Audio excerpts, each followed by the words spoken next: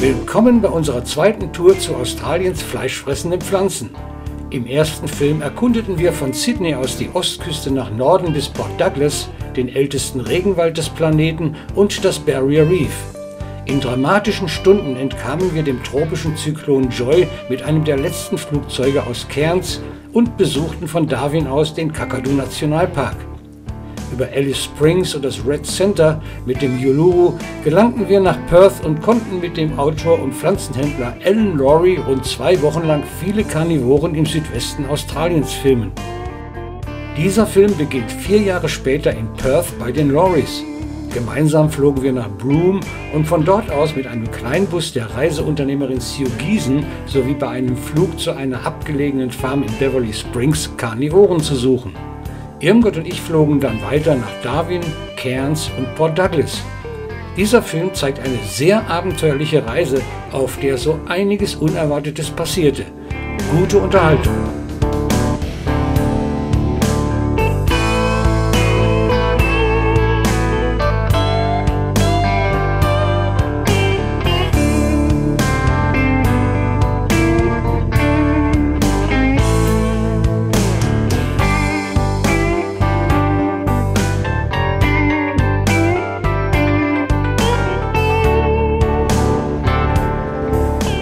Von Weil am Rhein aus fuhren wir Anfang April mit der Bahn zum Frankfurter Flughafen und bestiegen dort abends einen Jumbojet der australischen Fluglinie Qantas.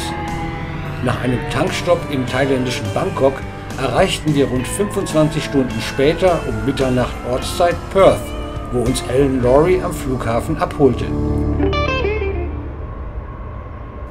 So begannen wir unsere Tour 1995 dort, wo sie vier Jahre zuvor endete in Duncraig bei Perth im Haus der Lauries. Dort kurierten wir drei Tage lang unser Jetlag und erfuhren, wie es um Ellens neues Buch steht, das bereits 1991 erscheinen sollte. Hello, my name is Alan Lowry, the author of Carnivorous Plants of Australia Volume 1 and Volume 2, and I'm happy to report that I have in front of me the completed manuscript for Volume 3. We've had a few delays with the University Press of Western Australia, mainly through staff changes at the organisation, but at this stage we have Volume 3 penciled in for July 1995 to, begin, to begin the publishing of the book. Bei diesem Besuch lagen bereits große Teile des Manuskripts ausgedruckt in einem Ordner vor. Finanzielle Gründe spielten wohl ebenfalls eine Rolle, weshalb das dritte Buch auch nicht im Juli 1995, sondern erst sieben Jahre später als geplant, also 1998, veröffentlicht wurde. Special music for this Ivy Center introducing Mr. Alan Laurie at the Hammond organ.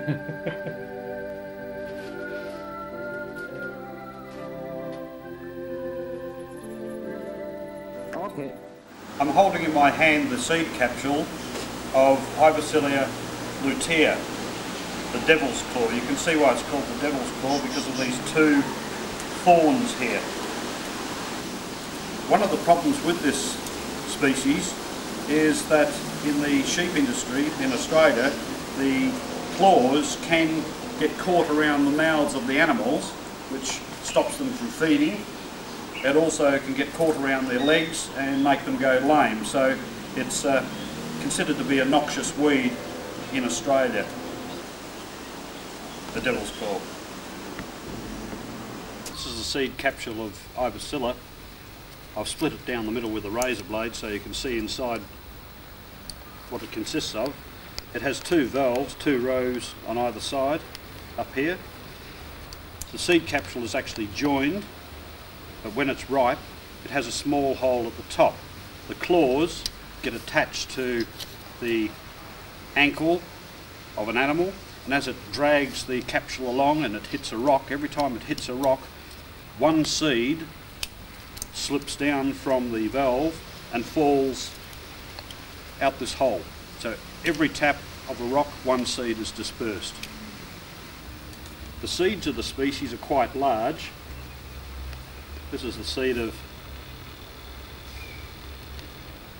Proboscidea and you can plant this on 50-50 peat and sand and absolutely nothing will happen. until you take a razor blade and you cut the side off the seed just to expose a little bit of the endosperm inside. You take that seed and you soak it in a solution of one gram of gibberellic acid to one litre of water for 10 to 15 minutes. You sow it onto your 50, 50 peat and sand mix, stand the pot in water, and that seed will germinate in three to four days.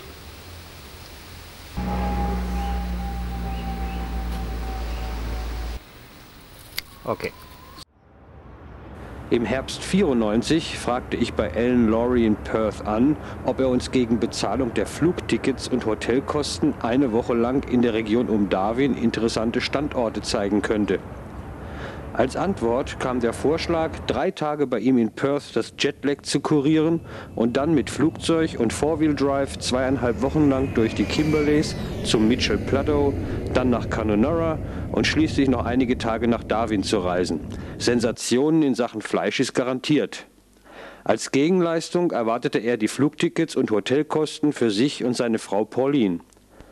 Wir stimmten zu und begannen am 20.04.95 von Perth kommend von Broome aus unser Kimberley-Abenteuer. Okay, das haben.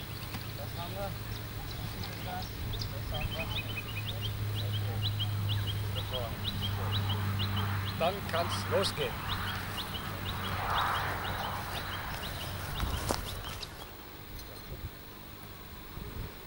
Obwohl ein tropischer Wirbelsturm eine Woche zuvor die Gibb River Road durch die Kimberleys unpassierbar gemacht hatte und uns zwang, die Route zu ändern, verspricht Allen trotzdem genügend interessante Insektivoren zu finden.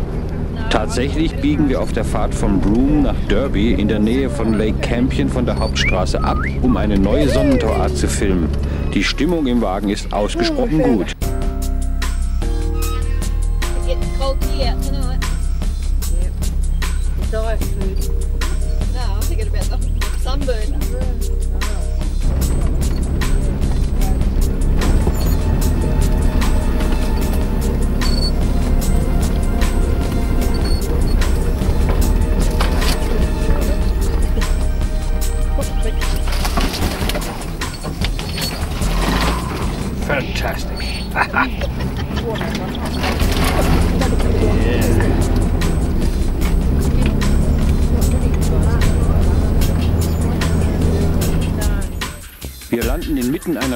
Sperrgraswiese, in der Ellen nach kurzer Suche die zum Petiolaris-Komplex gehörenden Sonnentau findet.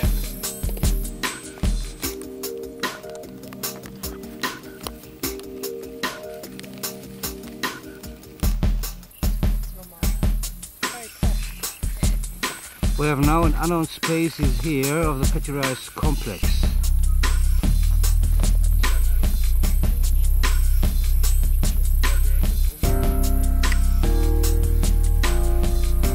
Temperature at this moment about 45 degrees centigrade.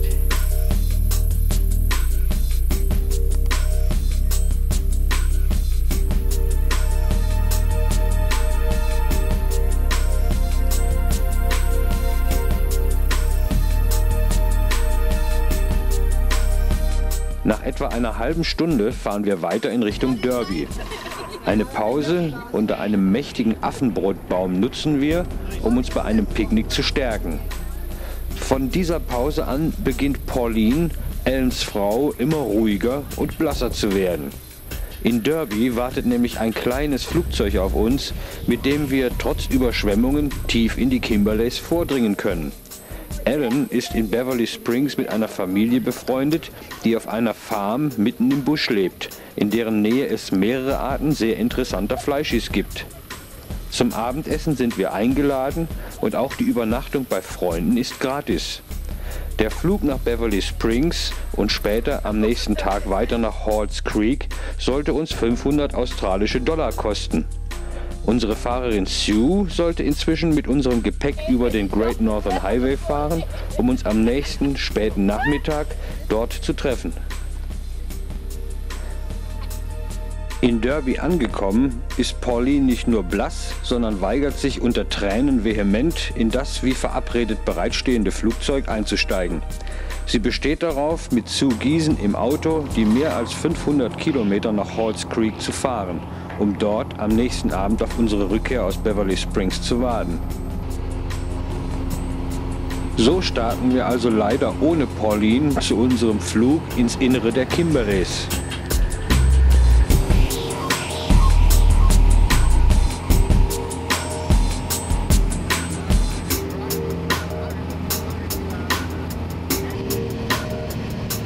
Wir sind etwa eine Stunde unterwegs, als das Farmhaus in Sicht kommt. Und wenig später landen wir auf einer roten Laterittpiste.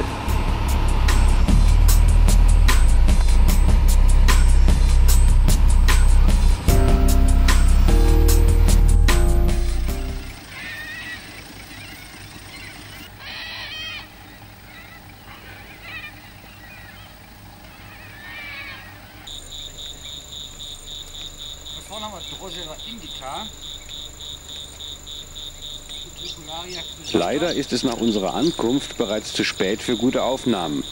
Nach der Einladung zum Abendessen übernachten Irmgard und ich in einer Art runden Gartenpavillon mit Wänden aus Fliegengittern, umgeben vom Busch.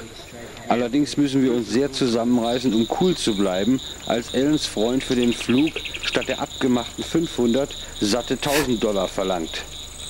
Hier ein Ausschnitt aus unserem Videoprotokoll. Gestern bei unserem Flug nach Beverly Springs verlor der große Alan Laurie beinahe unsere Freundschaft, als er sich von seinem Freund, unserem Piloten, das Ruder übergeben ließ und den größten Teil der Strecke selber flog. Ganz dicke kam es bei der Bezahlung dieses Flugs. Abgemacht waren 500 Dollar für diese Strecke. Nach der Ankunft verlangte man jedoch 1000 Dollar von uns.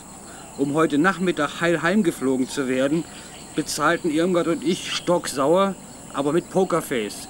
Wir hoffen, die Sache nach unserer Ankunft noch mal klären zu können. Mal sehen, was dabei herauskommt. Stocksauer. Stocksauer. Nach dem Frühstück führt uns Russell, der Sohn des Farmbesitzers, durch eine herrliche Wildnis zu einem Standort mit mehreren außergewöhnlichen Insektivorenarten. skjønner du.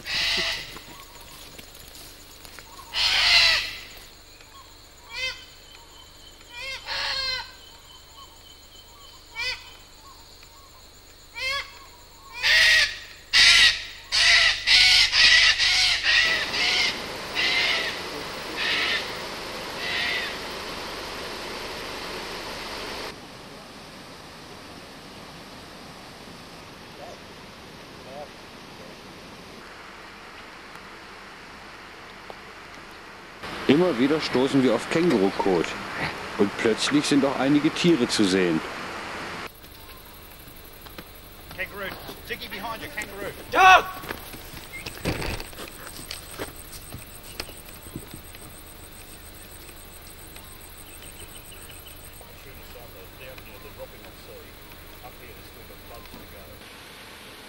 Leider sind hier auch die Känguruzecken recht häufig, auf die uns Rassel extra aufmerksam macht.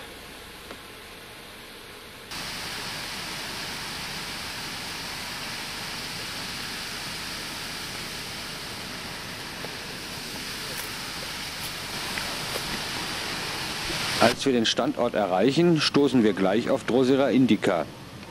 Auch diese Pflanzen zeigen am Blattansatz einen Bereich ohne gestielte Klebstoffdrüsen.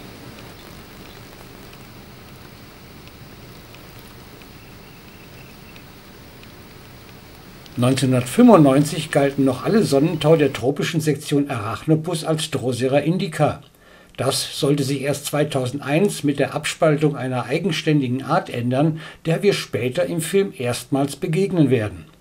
Einige dieser Spinnenbein-Sonnentau Arachnopus bedeutet Spinnenbein, unterscheidet man heute eindeutig aufgrund artspezifischer Emergenzen. Das sind solche mehrzelligen Strukturen, die, wie die Tentakel auch, unter die Epidermis reichen und im Gegensatz zu Haaren mit den inneren Leitbündeln der Pflanze verbunden sind. Wenn also im Filmverlauf die Rede von Drosera indica ist, die nach heutiger Sichtweise witzigerweise in Australien gar nicht vorkommt, blenden wir stets den aktuell gültigen botanischen Namen ein.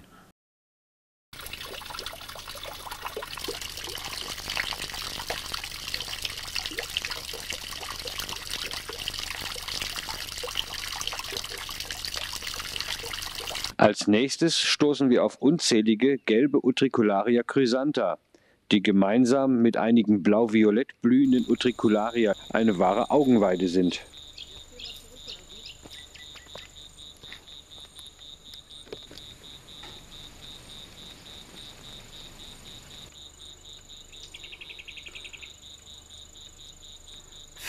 Ellen hat eine ganz besondere Wasserschlauchart aufgespürt. Utricularia antennifera wird dem Utricularia capilliflora komplex zugeordnet, deren Vertreter alle zwei antennenförmige Fortsätze an der ansonsten unscheinbaren Blüte haben. Nicht nur, dass dieser Wasserschlauch hier zum ersten Mal ca. 200 Kilometer weiter nördlich als bisher nachgewiesen wird, Interessant ist auch, dass in Peter Taylors Buch über die Gattung Utricularia vermutet wird, dass die eigenartige Blüte ein weibliches Insekt imitiert, um sich von dessen männlichen Partnern befruchten zu lassen. In direkter Nachbarschaft wächst auch einer der kleinsten Wasserschläuche. Die weißen Blüten von Utricularia quinquedentata sind mit etwa 2 mm Größe wirklich kaum zu finden. Umso erfreuter bin ich natürlich, sie dennoch vor der Makrolinse zu haben. Der Filzstift rechts zeigt, wie winzig die Blüten wirklich sind.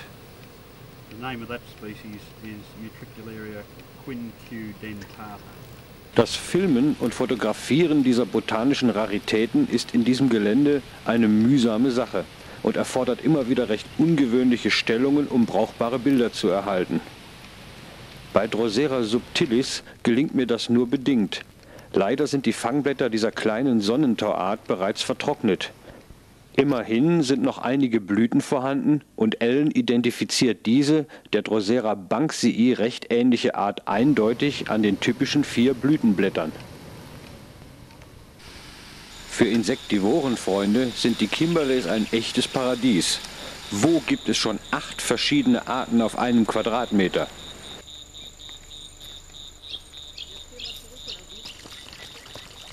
Alle eben gezeigten Utrikularien und Sonnentau sind hier an diesem kleinen Platz vielleicht einen halben Quadratmeter groß versammelt.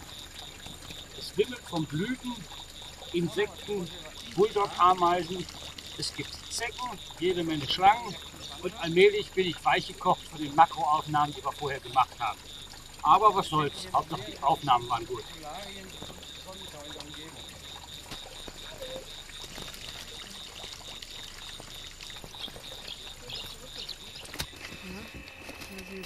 Uh, where is he gone? Maybe I go out before it's uh, getting wild.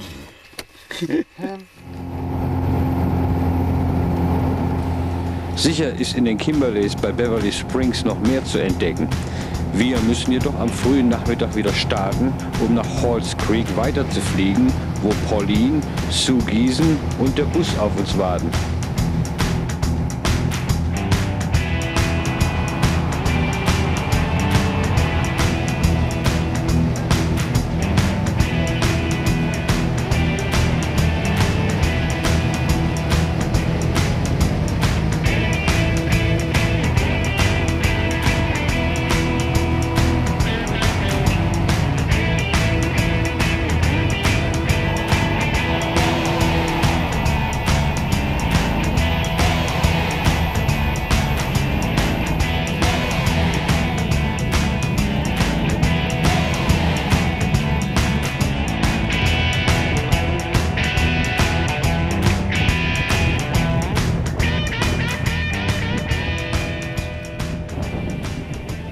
Der Landung in Halls Creek geht es gleich weiter in Richtung Bungle Bungles.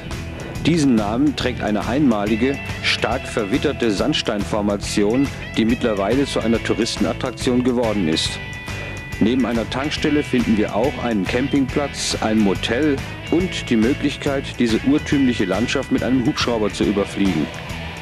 Wir übernachten hier und Irmgard und ich nehmen am nächsten Morgen die Gelegenheit wahr, einige Aufnahmen vom Hubschrauber auszuschießen.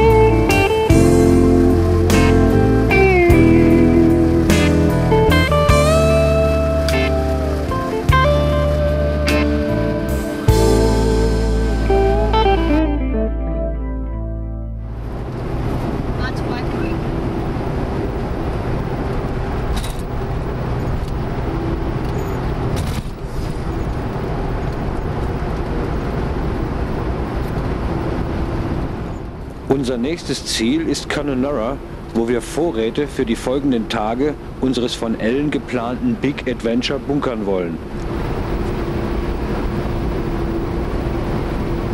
Unterwegs finden wir am Straßenrand nicht nur die bereits bekannten Sonnentau und Biblis, sondern zusätzlich die seltene, bisher nur an zwei Standorten beschriebene Utricularia tridactyla. Dieser Wasserschlauch ist die letzte fleischfressende Pflanze, die wir zusammen mit den Loris finden, was wir bei diesen Aufnahmen aber noch nicht ahnen.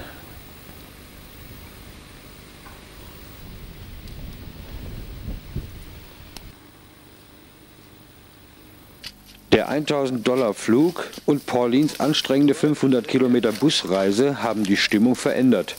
Irgendetwas liegt in der Luft, auch wenn Zu Giesen und ich immer wieder versuchen, die Stimmung etwas anzukurbeln.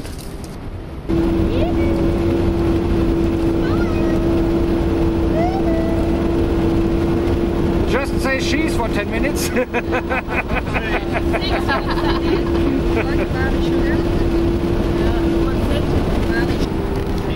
Two beehives sticking over behind a mountain.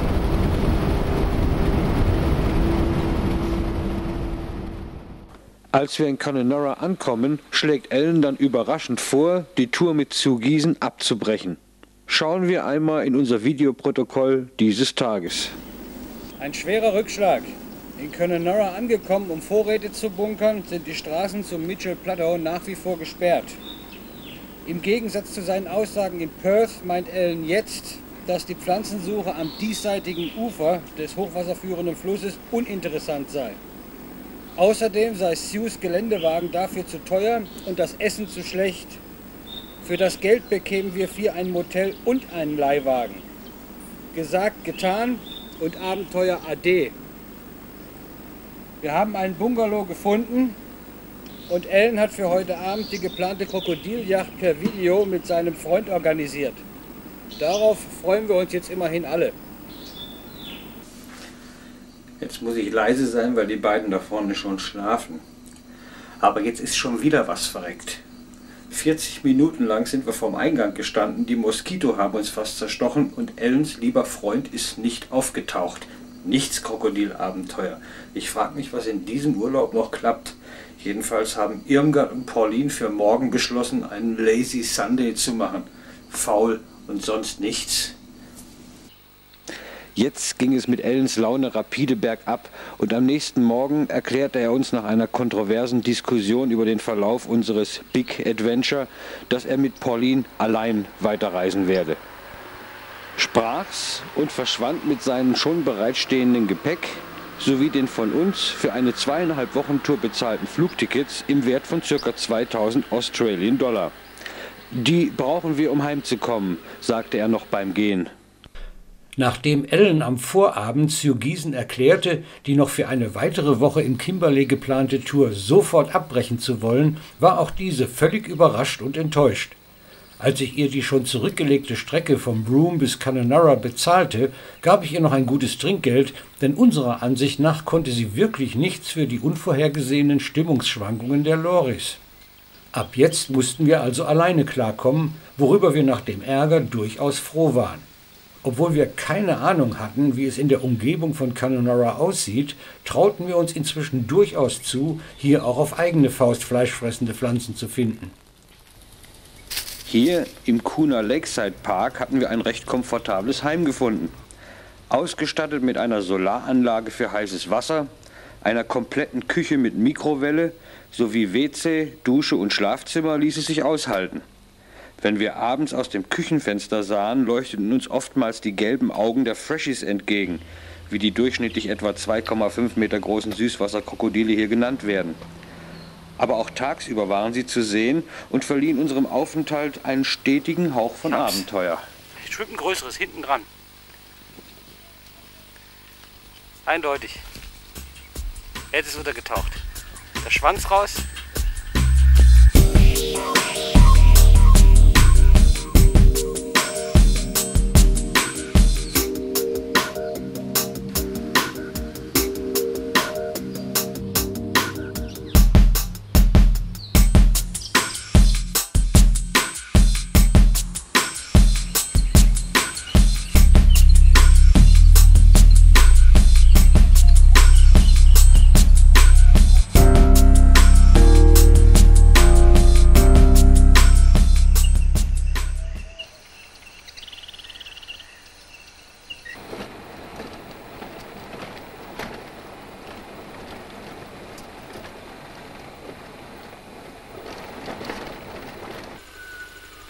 Unser erster Versuch, in der Umgebung von Canonera Fleischis zu finden, führt uns in das Hidden Valley.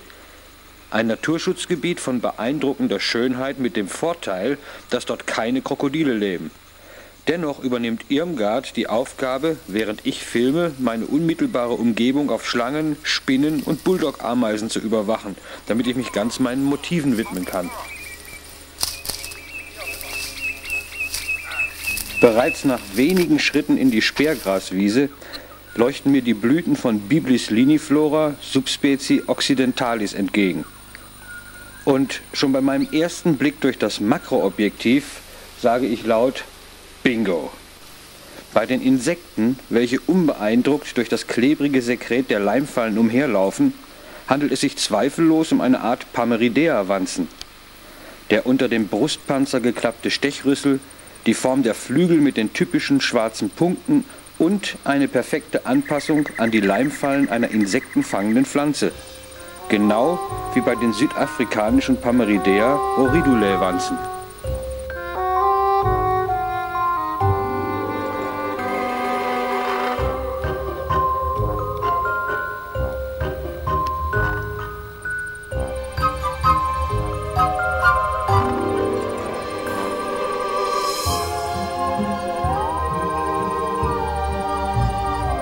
Offensichtlich haben die Wanzen keine Probleme mit den klebrigen Leimtöpfchen. Sie scheinen sich darin sogar ausgesprochen wohlzufühlen. Dieses Phänomen zeigte ich bereits vor zwei Jahren in unserem insektivoren Fleischi-Video 1993 anhand der Pameridea-Population auf meiner Roridula gorgonias. Machen wir einen Sprung in unser Wohnzimmer in Weil am Rhein, wo beide inzwischen prächtig gediehen sind. Zurzeit gönnen sich diese Exemplare auch den leckeren Blütennektar und bestäuben dabei die Pflanze. Ansonsten ernähren sich Pameridea-Wanzen von der Beute ihrer Wirtspflanzen und geben die Nährstoffe, ideal vorverdaut, in Form von Fäkalien an ihre Wirtspflanze weiter. Eine perfekte Symbiose, da Roridula dadurch sogar auf die Produktion eigener Verdauungsenzyme verzichten kann. Zum Thema Symbiosen zwischen Insekten und Insektivoren werden wir bald noch mehr sehen. Jetzt kehren wir erst einmal in das Hidden Valley zurück, wo wir als erstes Biblis liniflora Subspecie occidentalis und ihre Wanzen gefunden haben. Die bis zu 45 cm großen Pflanzen stehen jetzt Anfang Mai in voller Blüte. aber es finden sich nur wenige bereits reife Samenkapseln. In der gleichen Wiese finden wir auch zahlreiche bis über 30 cm große Drosera indica, die sogar Schmetterlinge fangen. Die ersten Drosera indica gefunden von der Hartmeier Produktion in eigener Regie. Eine weitere Attraktion sind die vereinzelt in den Gruppen wachsenden Drosera ordensis.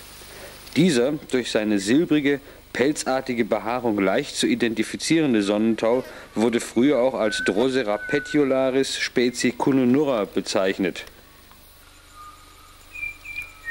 Drosera petiolaris cununura sind die Wiesen links und rechts der Straße, in denen es von Fleischfressern in diesem Gebiet nur so wimmelt. Also ich kann nur jedem abraten, sich einen Führer zu nehmen. Es ist äußerst einfach, die Pflanzen selber zu suchen. Man muss nur wissen, wo man hingucken muss.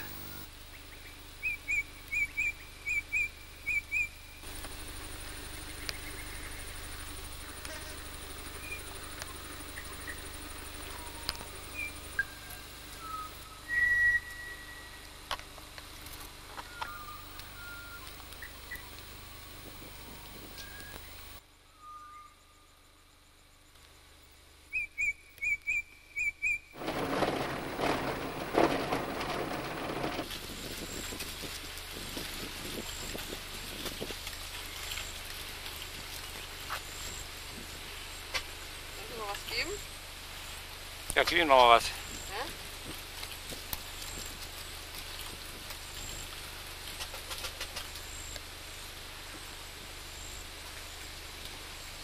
Und jetzt den Fischen ein bisschen was.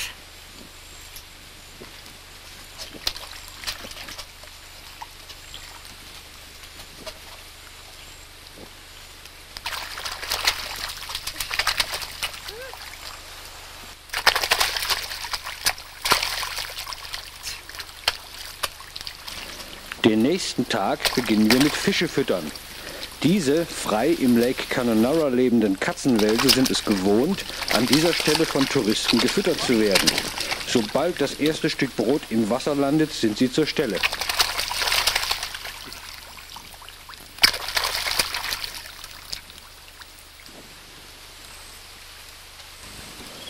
Unser heutiger Ausflug in den Süden führt uns in landwirtschaftlich genutzte Gebiete, in denen wir keine interessanten Insektivoren finden. Allerdings weisen hier immer wieder Schilder auf die Gefahr hin, den großen und gefährlichen Salzwasserkrokodilen zu begegnen. Vorsichtig suchen wir trotzdem. Aber erst am nächsten Tag, nach einer längeren Fahrt Richtung Grenze zum Nordterritorium, finden wir wieder Fleischis. the Western Australia Fire Brigade.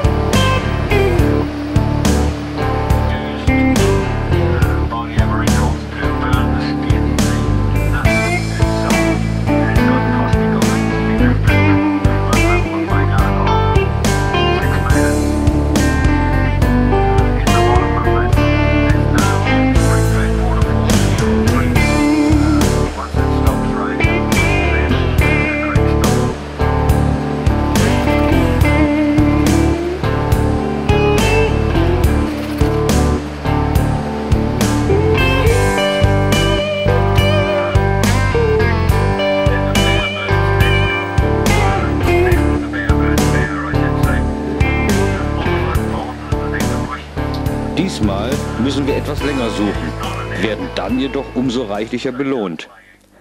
Auf einer Wiese nahe eines Baches finden wir Sonnentau, welcher auf dem ersten Blick wie eine rote Form von Drosera indica erscheint. Und eindeutig keine Bugs, aber diverse Fliegen, die er gefangen hat. Interessant ist, die Tentakel gehen über die gesamte Blattoberseite bis an den Stängel. Bei näherem Hinsehen wirkt er jedoch viel kompakter. Auch fehlen den benachbarten grünen Drosera indica allen am Blattansatz auf ca. 1 bis 2 cm die gestielten Drüsen. Als ich diese Aufnahmen nach unserer Rückkehr auf der Jahresversammlung der Deutschen Gesellschaft für fleischfressende Pflanzen zeige, hat trotz einer recht prominenten Anwesenheitsliste noch niemand eine solche Drosera indica gesehen. Obwohl ich sehr vorsichtig mit der Behauptung sein möchte, dass dies eine noch nicht beschriebene Art sein könnte, besteht hier zum ersten Mal die Möglichkeit. Ich bitte jeden, der dieses Video sieht und die Pflanze kennt, mir dies mitzuteilen, aber eventuell ist es ja wirklich nur eine etwas ungewöhnliche Form einer roten Drosera indica.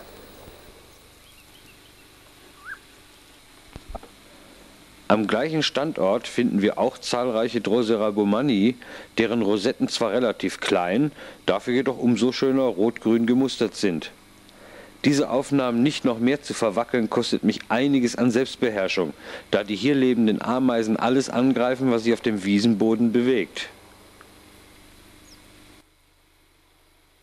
Auch diese Maulwurfsgrille ist ein Opfer. Es ist interessant, dieses in Europa weit verbreitete Insekt auch in Australien zu finden. Mit seinen schaufelförmigen Extremitäten gräbt es unter der Erdoberfläche Gänge und ernährt sich dort von Wurzeln und Knollen. Diese Gottesanbeterin landet plötzlich auf meiner Weste und beobachtet interessiert mein Hantieren mit der Kamera. Diese räuberische Insektenart ist ebenfalls in Europa heimisch. Vor zwei Jahren lebte eine Gottesanbeterin in unserem Garten in Weil und ließ sich, wenn Besuch kam, willig auf die Hand nehmen und vorzeigen. Wenige Kilometer vor Canenara halten wir auf dem Rückweg nochmals an, als wir einige Pandanusbäume im Speergras entdecken. Das deutet nämlich auf feuchten Boden und damit auf ein ideales Insektivorenhabitat hin.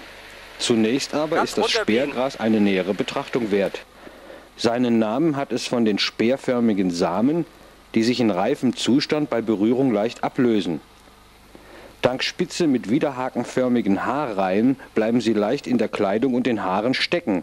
Nach einer Weile beginnt der Stiel sich korkenzieherartig zu verbiegen, wodurch die Spitze mit einer Drehbewegung nicht nur tiefer in das Erdreich, sondern auch durch dünne Schuhe, Jacken usw. So getrieben wird. Nun aber wieder zurück zu den Insektivoren. Es ist einer dieser Tage, an denen einfach alles klappt. Erst die interessante rote Drosera indica und nun am späten Nachmittag noch diese Sperrgraswiese mit vielen ausgesprochen großen Drosera ordensis, welche bis an den Straßenrand wachsen. Zahlreiche Sämlinge messen jetzt nach dem Ende der Regenzeit bereits über zwei Zentimeter im Durchmesser. Nur wenig größer sind die adulten, ebenfalls hier wachsenden Drosera burmanni, welche sehr erfolgreich Ameisen fangen. Biblis liniflora ist nur mit einigen wenigen Sämlingen ohne jegliche Wanzen vertreten. Ausgesprochen zufrieden mit dem heutigen Tag beschließe ich noch einige Makroaufnahmen in der Abendsonne zu machen. Und naja, es war einfach einer dieser Tage, an denen alles klappt. Ich glaube, ich spinne, das ist ein Back drauf.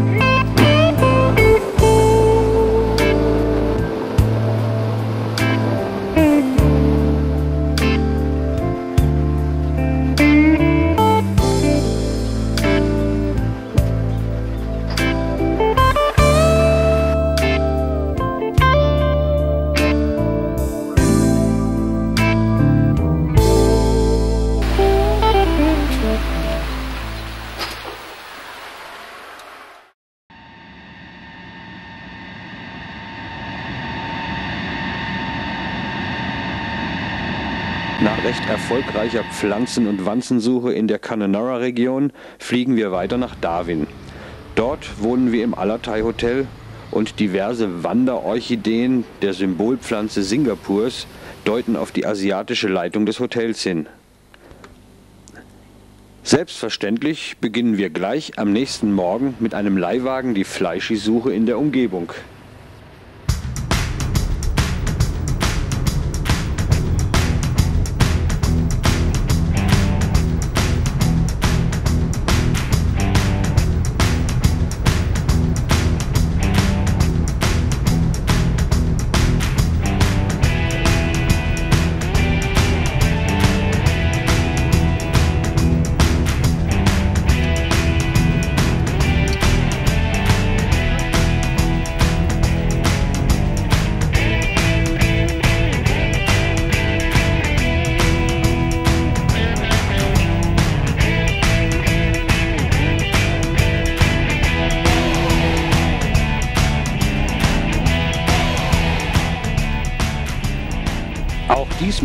Gleich unser erster Ausflug erfolgreich.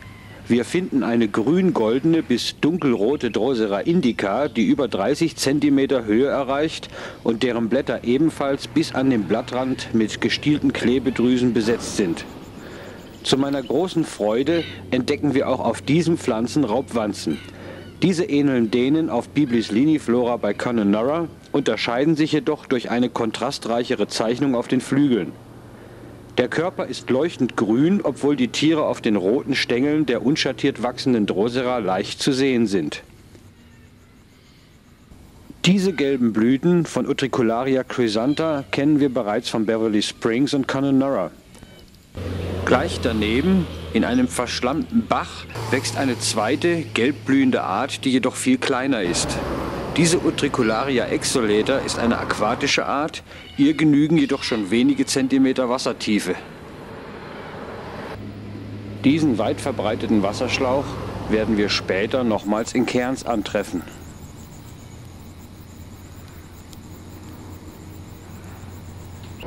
Die Temperatur auf diesem Stein liegt über 40 Grad Celsius und trotzdem gedeiht darauf ein großer, rot leuchtender Sonnentau. Wir haben diese Drosera petiolaris vom Auto aus gesehen und extra angehalten. Trotz der Hitze sind die Leimtröpfchen gut ausgebildet und bewegen sich sogar. Hier versucht ein Blatt offensichtlich, den ungenießbaren Fremdkörper loszuwerden. Solche relativ schnellen Bewegungen sind auch von Drosera burmannii bekannt. Vielleicht macht diese Fähigkeit diesen relativ kleinen Sonnentau so erfolgreich. Wir fanden ihn in allen Gebieten, die wir bereisten. Im Gewächshaus gelangen mir vor einigen Jahren Aufnahmen, welche den Vorteil der schnellen Tentakelbewegung zeigen. Die langen äußeren Tentakel können sogar Beute überwältigen, die ansonsten nach einer Weile entkommen würde. Vermutlich ist dies auch der Grund, weshalb wir auf Drosera burmannii niemals Wanzen fanden. Die Umgebung von Darwin, der Hauptstadt des Nordterritoriums, bietet dem Insektivorenfreund jedoch noch viel mehr. Zwei Tage später fahren wir in das Gebiet bei Howard Springs, wo diverse Pandanusbäume ein gutes Karnivorenhabitat versprechen. Hier ist Petiolaris direkt am Weg. Diese Drosera petiolaris unterscheiden sich von Drosera ordensis durch die schmaleren Blattstiele und das Fehlen der silbrigen, pelzartigen Behaarung. Neben diesen in Nordaustralien recht verbreiteten Sonnentau gibt es hier noch ein kleines Gewächs, welches auf den ersten Blick wie Drosera petiolaris erscheint. Bei näherem Hinsehen entpuppen sich die Fangblätter jedoch als Blüten. Bei diesem Wasserschlauch handelt es sich um Utricularia leptorhyncha. Die Wurzeln mit den Fangblasen befinden sich hier in einem Ameisenbau. Ob das jedoch Zufall oder gewollte Gemeinschaft ist, kann ich nur wirklich nicht beurteilen.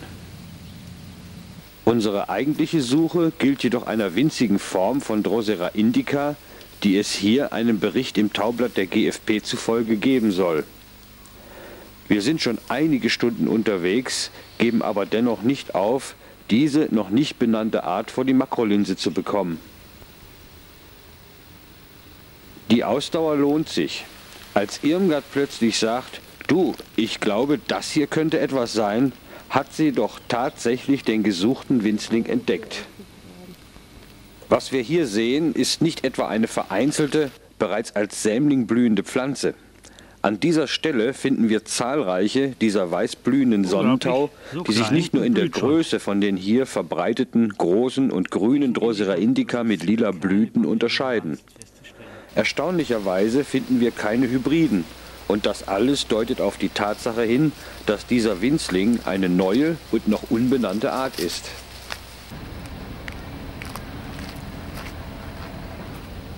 Machen wir noch einen Besuch in der Aquascene oder auch Dr. Scully Wasserreservat in Darwin. Offensichtlich lieben die Australier es, Fische zu füttern.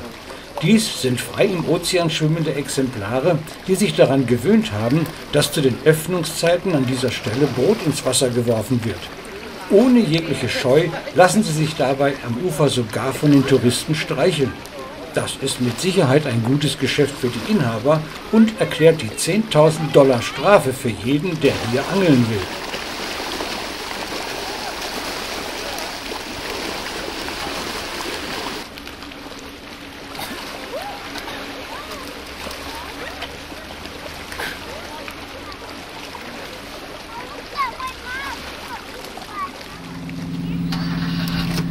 So viel zu Dr. Scully. Und jetzt geht's weiter auf der Jagd nach fleischfressenden Pflanzen.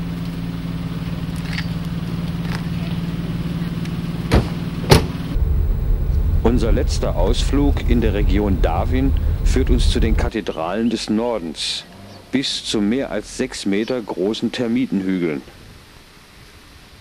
Diese ragen aus einer Wiese empor, die sich als ergiebiges Insektivorenhabitat erweist. Auch hier finden wir die räuberischen Wanzen, allerdings zum ersten Mal auf der großen, grünen Drosera indica mit der Zone ohne gestielte Leimdrüsen am Blattansatz. Diese Cyrtopeltis oder Setocornis Art ist es sicher wert, von einem Entomologen untersucht zu werden, da sie sich von denen in der Nähe des Flughafens von Darwin wiederum unterscheiden.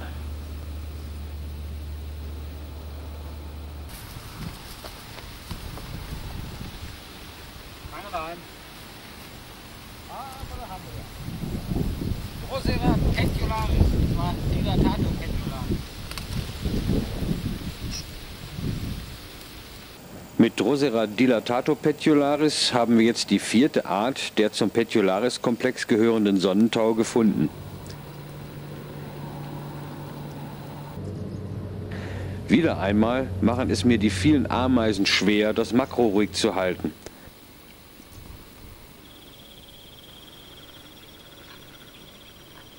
Zusätzlich entdecke ich die Grassamen, die mit ihren Eigenbewegungen der Wiese aus dieser Perspektive eine ganz besondere Dimension verleihen.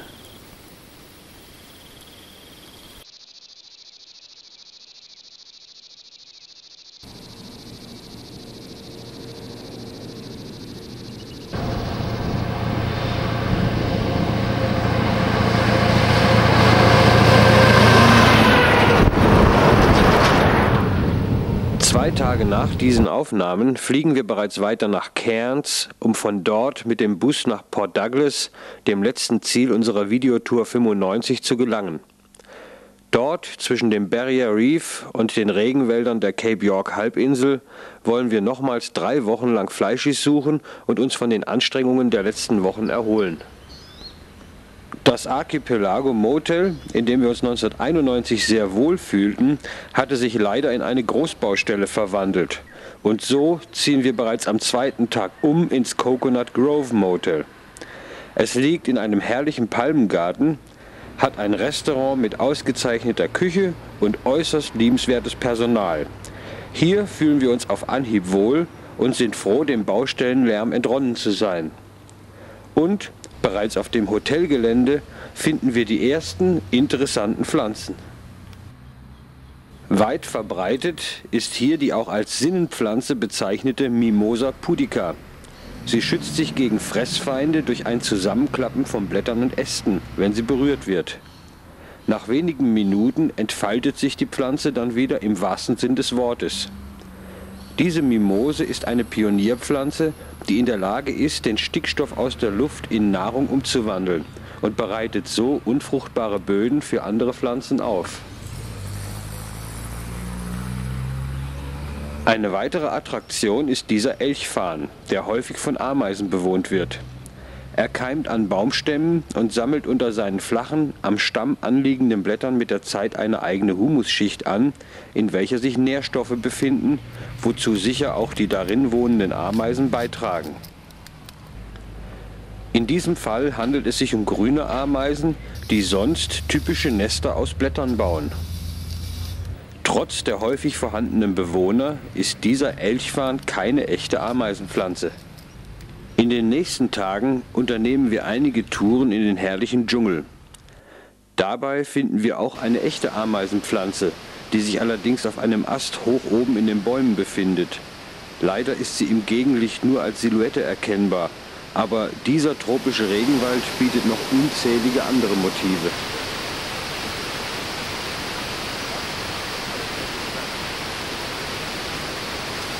I'll send you a copy of the video.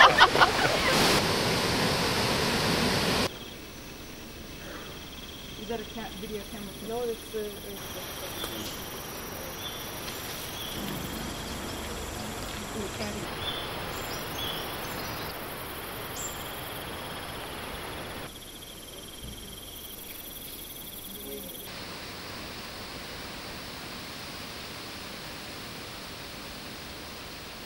Hier sehen wir einige große Nester der grünen Ameisen.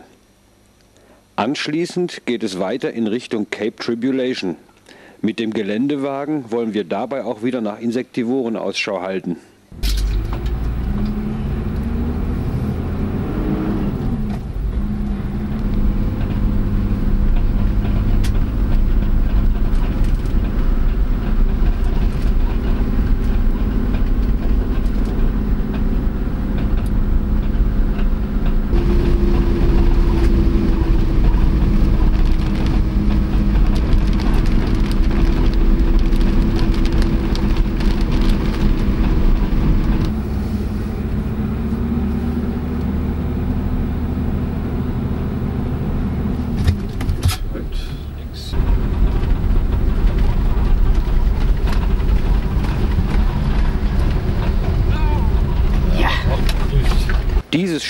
Warnt vor Kasuaren, bis zu anderthalb Meter großen, mit den Emus verwandten Laufvögeln, die nicht nur prächtig aussehen, sondern ihr Gelege, wenn man ihnen zu nahe kommt, auch recht wehrhaft verteidigen. Aber natürlich hält uns das nicht davon ab, auch hier anzuhalten und nach Fleischis zu suchen. Ein Seitenweg heißt Pandanus Road und obwohl wir keine Pandanusbäume sehen, schauen wir mal in die Wiese und Nomen est Omen, wir finden Drosera spatulata. Diese Art ist in Queensland weit verbreitet. Vor vier Jahren fanden wir sie auf Bribey Island in der Nähe von Brisbane, fast 1500 Kilometer südlich von hier. Zu meiner besonderen Freude entdecke ich neben den Sonnentau die sehr variable Utricularia cerulea. Hier habe ich mich vor Ort geirrt. Es handelt sich um Utricularia uliginosa.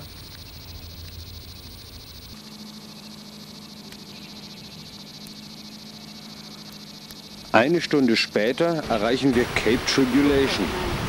Dort finden wir an diesem grauen und regnerischen Tag jedoch nichts von der versprochenen Postkartenatmosphäre.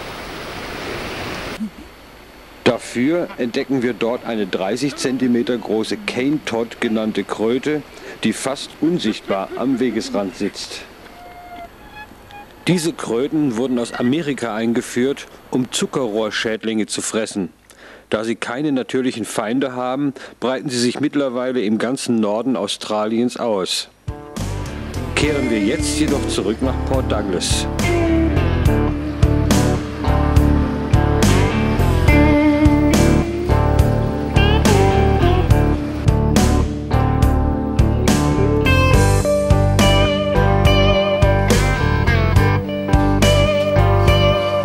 Natürlich will ich wie schon 1991 wieder am Riff mit Druckflaschen tauchen. Wir fanden im Ort eine Tauchschule, die mir einen exklusiven Tauchgang allein mit dem Tauchlehrer anbot. Das Ziel war ein in etwa 10 Meter Tiefe hausender, rund 2,5 Meter großer Napoleonfisch mit Namen Killer. Tatsächlich kam der friedliche Riese, angelockt durch ein Brathuhn aus der Bordküche, aus seiner Höhle und verweilte mit uns, bis der Vogel verspeist war. Es war ein unglaubliches Erlebnis. Aber selbst mit Schnorchel, wobei auch Irmgard begeistert mitmachte, ist das Barrier Reef jedes Mal ein Abenteuer. Für unseren Geschmack sind die Bluesabende im Courthouse mit Billy Ebeling absolute Höhepunkte. Aber auch bei uns im Coconut Grove bietet Graham, unser Barkeeper, eine tolle Show.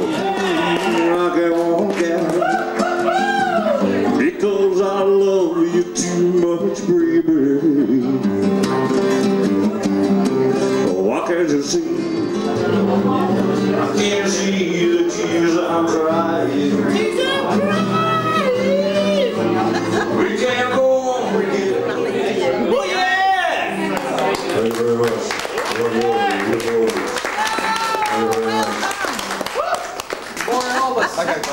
Oh, yeah!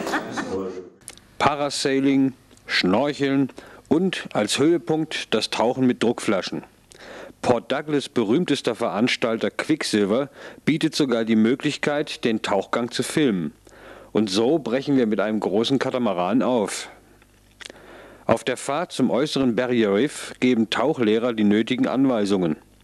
Die Ausrüstungen sind im Preis inbegriffen und in Vierergruppen mit je einem Tauchlehrer geht es dann gleich ab ins Wasser. Schwerelos durch das Wasser schweben und eine Welt betrachten, die dem Regenwald an seinen Ufern in Schönheit und Artenvielfalt in nichts nachsteht. Was für ein Erlebnis!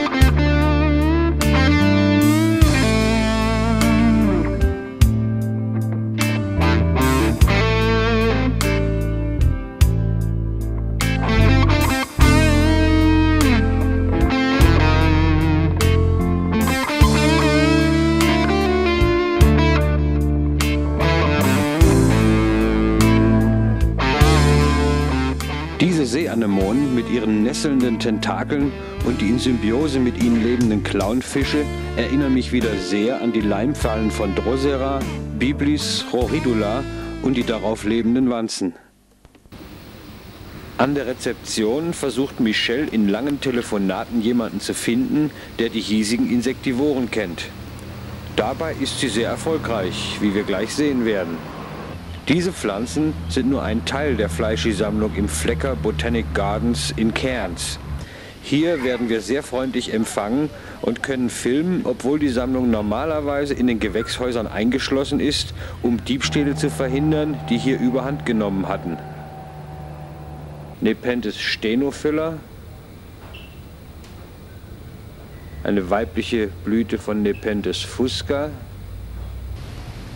und Nepenthes cambodgiana. Eigentlich verdanken wir den freundlichen Empfang einen Anruf von Trevor Hannum, dem Präsidenten der North Queensland Carnivorous Plant Society, dem Michelle von der Rezeption für uns ausfindig gemacht hatte. Trevor gab uns auch den Tipp, an den See zu gehen, da es dort die aquatische Utricularia exoleta gibt. Wie alle Utricularia-Arten ist sie wurzellos und die Fangblasen wachsen direkt an den verzweigten Stängelsegmenten.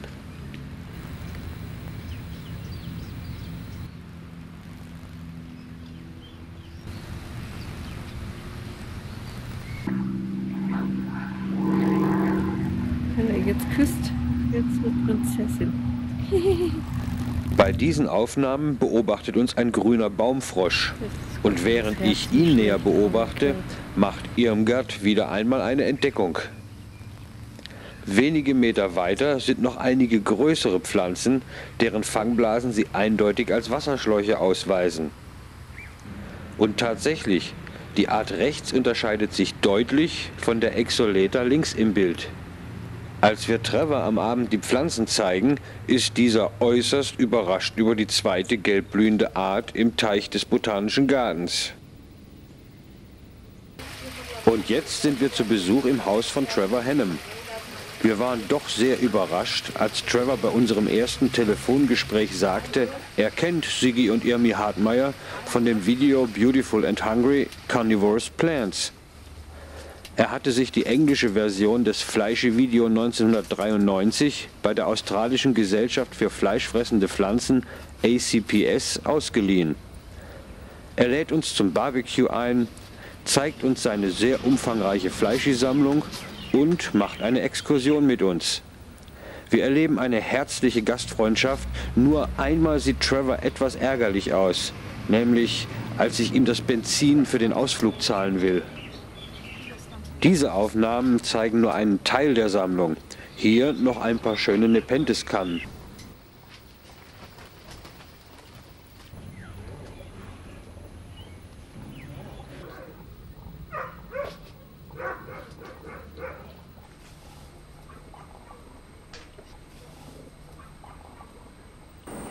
Hi Trevor, it's nice to be here.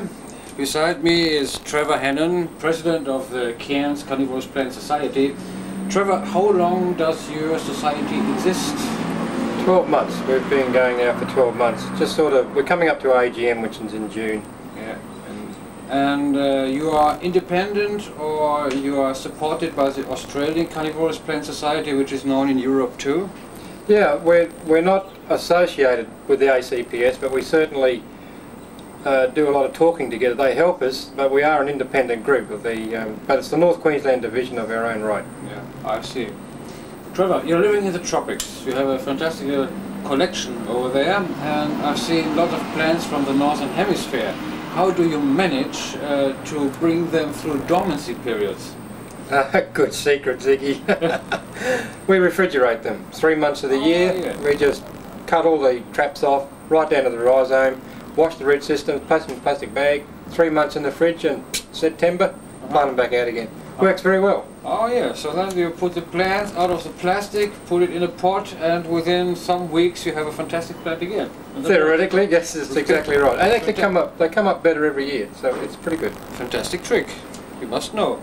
Dormant, going dormant, we put in for winter. Take the pots out, we take everything off.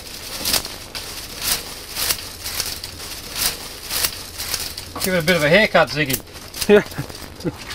We wash all the soil off them. From the washing stage, we just put the root ball and the rhizome in a plastic bag. We'll leave the fungicide on them. And from here on we would put them in the refrigerator for three months.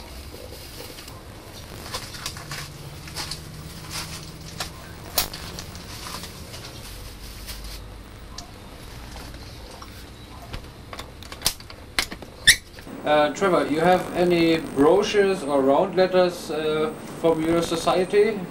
Yeah, we put out a bulletin every month right now, but we are looking at putting one out every two months Uh-huh, and putting that on the computer. But as I said, computers do cause a problem. Yeah, really, I see. Trevor, would you be interested in an exchange uh, with other carnivorous plant society, uh, communication or exchange of round letters and uh, brochures? Uh, how do you think about that? Because then I could add your address on this place and show it to the rest of the world that's looking to this video. Ziggy, that would be absolutely terrific. Matter of fact, an exchange of information with other countries is really beneficial. Okay. So, Trevor, thank you for this interview, and I've seen lots of very, very nice plants over there. Maybe we can have a look. Definitely, Ziggy. I'd be more than welcome to show you. Okay, thank you very much, Thank Trevor. There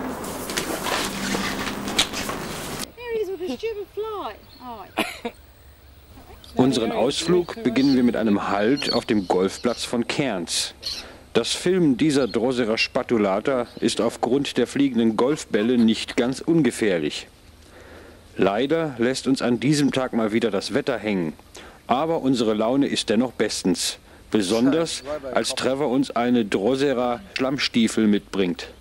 Zusätzlich finden wir noch zwei kleine blühende Utrikularien, die wir wegen des einsetzenden Regens aber nicht genau untersuchen können.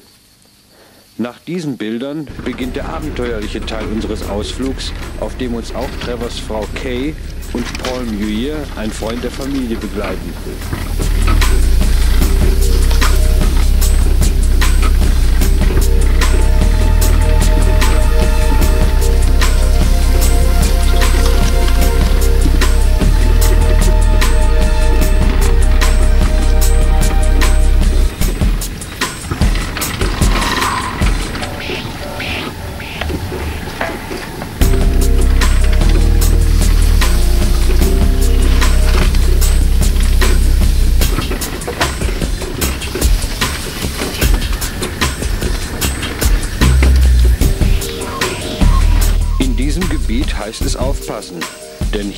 Gibt es Taipane, die zu den giftigsten Schlangen überhaupt gehören.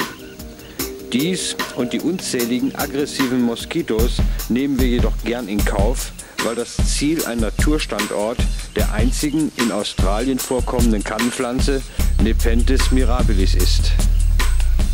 See some snakes? no, snake around. Hammer. Als wir den Standort erreichen, gießt es in Strömen. Wir halten eine Plastikplane über uns, um diese Bilder zu machen und werden von Hunderten, wirklich, ich habe ja Zeugen, Hunderten Mücken attackiert. Gut, dass sie keine Malaria übertragen, sage ich zu Trevor. Und der antwortet prompt, richtig, keine Malaria, aber gelegentlich Dingifieber. Trotz allem ist dies ein tolles Abenteuer und macht einen Mordspaß.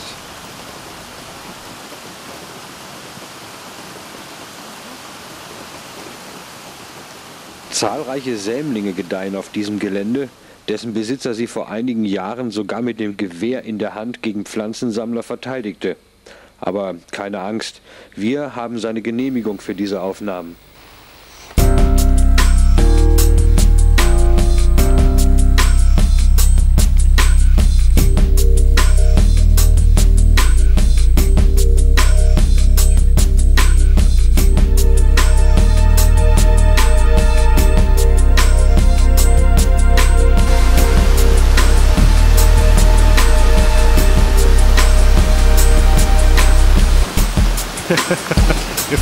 Feeling comfortable?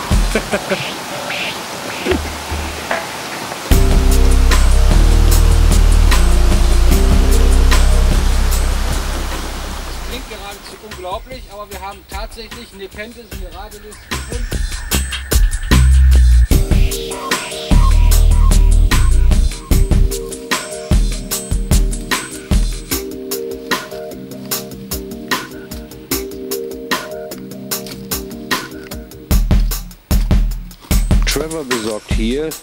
Abschluss dieses Films alles Notwendige, um die Mutprobe der North Queensland Carnivorous Plant Society zu demonstrieren. Very sweet. Tastes like shit.